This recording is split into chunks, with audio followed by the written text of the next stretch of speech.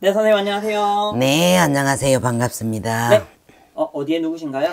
해운대구에 사는 호랑이 보살입니다. 네, 반갑습니다. 예, 반갑습니다. 어, 선생님 이제 11월이 이제 시작되고 이제 2주가 남았는데요. 네, 2주로 또 번호를 또 받아야 됩니다. 네, 저번에 선생님 얘기해 주신 거에 어, 개띠랑 내년도 이민년에 개띠랑 돼지띠가 좋다고 네, 말씀하셨잖아요. 네, 좋아요.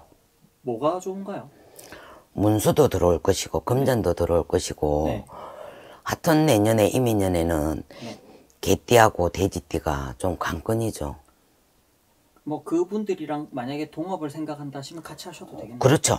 그 사람들이 좀, 시- 좀 심중할 걸. 아, 그 정도 그 정도로 좋습니다. 네, 자, 들으셨죠? 지금 혹시나 요거 관련돼서도 조금 궁금하다 하시면 위에 나오는 번호로 연락 주시면 상담을 잘 해주실 겁니다.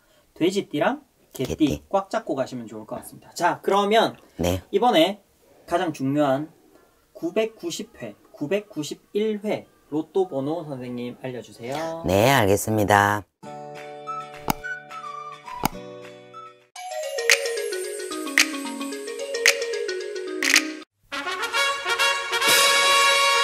일번 7번, 19번, 22번, 28번, 31번, 38번, 40번.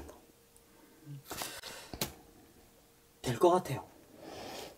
아, 번호에 운기가 쫙쫙 맞아 들어가는데요. 될것 같아요. 아니, 느낌이 어, 될 것 같아요, 선생님. 번호에 운기가 팍팍 들어갑니다. 그리고 저번에 좋은 띠 얘기해 주셨잖아요. 네. 내년에 안 좋은 띠.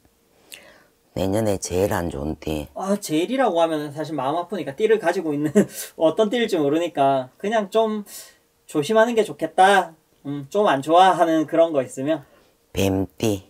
아, 쥐띠가 좋다고 하지만 썩 좋은 띠가 아니거든요, 내년에. 그래서 조금 쥐띠가 조심을 해야 됩니다. 음, 별로 안 좋네. 음, 알겠습니다. 뭐 그 왜 안 좋은지에 대한 거는 또 다음 영상이 오면 그때 한 번 더 여쭈어 보겠습니다. 네, 네, 알겠습니다. 선생님 감사합니다. 네, 감사합니다. 네.